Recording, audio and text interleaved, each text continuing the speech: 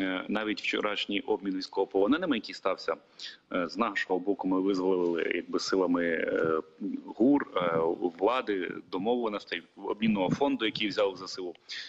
Ми провели якби обмін наших хлопців. А з російського боку міняла не ФСБ. По секрету скажу, це міняв Самарський воєнкомат, тому що у них прийнято закон, що тепер, якщо ти здаєшся в полон або дезертируєш, тебе сажають в тюрму. Зараз от 55 ванюшек, які прибули в Росію, у них у всіх такі сумні, дуже напружені мордяки, тому що їх насправді зараз везуть прямо з літака в тюрму, е, як дезертира і тих, хто здались в полон в Ізюмі, зокрема. А там до них приходить е, ЧВК Вагнер і обізяни і кажуть: так, ну тепер ви можете повоювати, і вас, якщо не хочете в тюрмі, йдеш воювати. І всі довольні. Тобто у них появляється 55 нових воєннослужащих російської армії. От насправді секрет, обміну цих ванюшек. Е, їх обіцяють нам 300 тисяч. Але навіть на даний момент у них є такі батальйони армійського резерву, які е, мають е, практично нікчемне забезпечення згідно слів от російських самих же військових. Я їх дослівно цитую на уровні бомжей. Це те, що батальйони цього резерву, які по всіх білбордах по всій Росії їх розвішували, е, вони не змогли їх укомплектувати. Вони не змогли їх забезпечити техніку. Вони не змогли їх забезпечити зв'язком, засобами індивідуального захисту. Я вже не кажу про біноклі, прости господи, тепловізори. Тепловізори вони бачили лише коли е, цей тепловізор них дивиться з українських позицій і перед своєю смертю.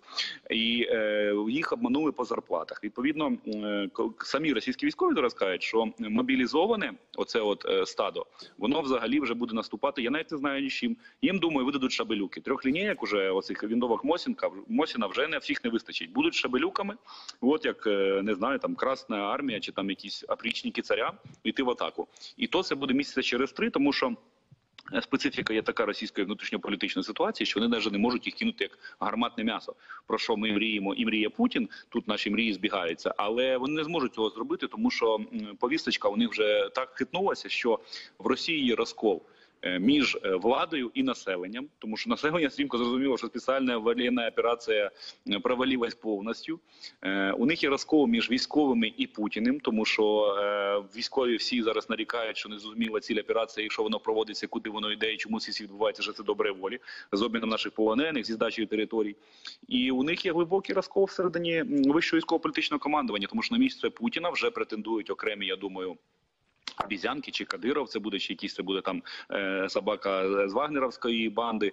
Тобто, ми я зараз чітко індексую е, і, і чи проводжу там індикацію. Я бачу в їхніх інфо, інформаційні повісточки їхніх солдатів, що вже дозволено крашити булку черствою на царя. Вони Путіна називають пинею, е, тому що все таки за Путіна стаття ще грозить. А от пиню вони кажуть, що пиня там не справився, ні вивіз, ні смог і так далі. Відповідно до чого я це кажу, вони не можуть кинути мобілізованих як гарматне м'ясо, тому що Путін тоді розуміє, що просто буде дворцовий переворот, і його всередині його команди, е, ті, хто не задоволені розвитком ситуації, цим скористається, щоб е, пульку подвинуть. Тому мобілізація не загрожує нічим. Е, Воно призведе через там два місяці, три місяці, що вони частково доповнять уже більш підготовленим гарматним м'ясом свої війська. Десь це їм дозволить трошки закріпитися, краще стати в оборону, може десь краще наступати. Там ну це наступати на рівні того, як вони зараз наступають, там по одному силу за місяць.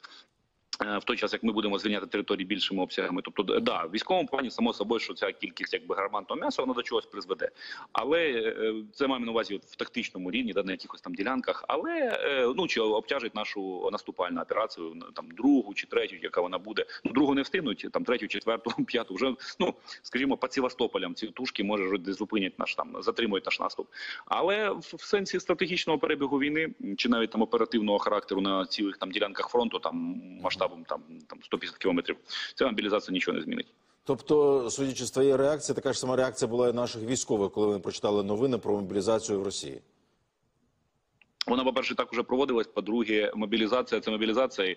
Не вистачає техніки, не вистачає обладнання. Навіть е, третій армійський корпус, який у них був е, створений як нібито такий зараз серйозний резерв, поповнення на фронт, навіть в цьому е, армійському корпусі, попри те, що там наявна сучасна техніка, там справді хороші там БМП треті їхні, Т-90, но на цьому корпусі значні проблеми це тільки по окремих е, там сферах, то що я чув.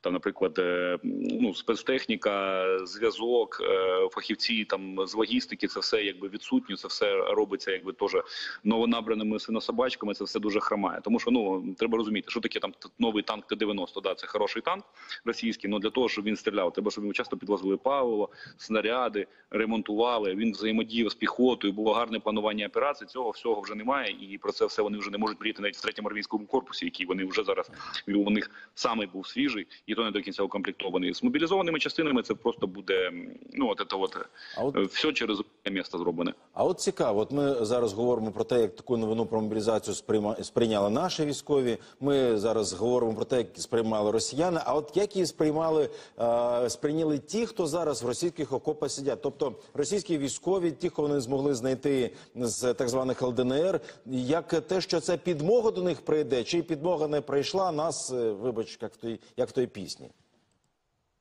Е, Ну, у них мобілізацію радіють ті, хто сидить в Москві, хто вже втік з окопів, якби різні їхні пропагандисти.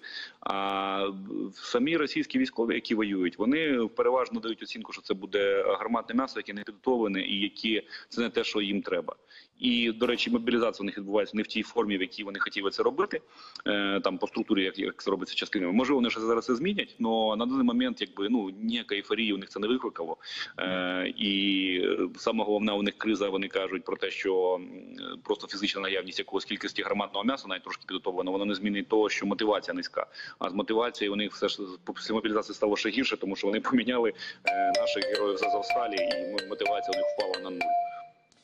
Так, ще питання от стосовно того, як е, таку мобілізацію. Ну, ми ж знаємо, що намагаються росіяни, російські окупанти мобілізовувати і людей на окупованих територіях. От, зокрема, Херсонщина, е, частина Запорізької області, звісно, що Донецька і е, Луганська область, ті райони, які перебували під нашим контролем до 24 лютого. Тобто, як там це відбувається, і як там люди, вони що йдуть? Ви наскільки знаємо, ніхто ж не йде з Херсона, ніхто не йде зі зброєю воювати. Вони навпаки ховаються. Хто не зміг виїхати, так? Вони будуть оцих людей використовувати вже як гарматне м'ясо, тому що люди з окупованих територій чи з ЛДНР, знову окупованих чи з зі староокупованих, ці люди е, громадяни цих територій для них не вважаються людьми. Це будуть просто гарматне м'ясо. Е, Це не русські, і вони ніколи для них русскими не стануть. Ці люди всі просто загинуть. Тому е, треба. Ну я час від часу публікую себе в телеграм-каналі. Там і чат-бот СБУ, і е, якщо не помиляюсь, там можливо десь на сайті ГУРа теж є якісь чат-боти. Е, Треба вже зараз готуватися. Якщо ви на окупованих територіях, тобто і не співпрацюєте зараз ще з нашою розвідкою, терміново входити в взаємодію, тому що якщо вас загребуть туди служити, єдиний шанс вижити буде це діяти по алгоритмах, які будуть радити наші спецслужби для того, щоб уціліти. Тому що вони так само росіяни придумують, е, якщо все це йшло в атаку і не мало шансів ні, ні втекти, ні вижити, будуть заградотряди російської гвардії. Кадировці це заградотряди. У них частини.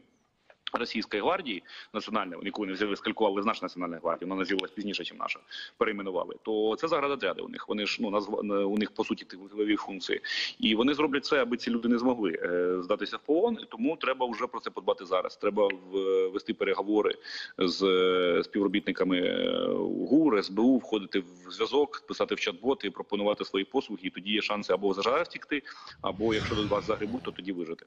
Зрозуміло. Ну що ж, дуже дякуємо. Бережи себе. Євген Карась, військовий збройних сил України, зараз був з нами на прямому зв'язку.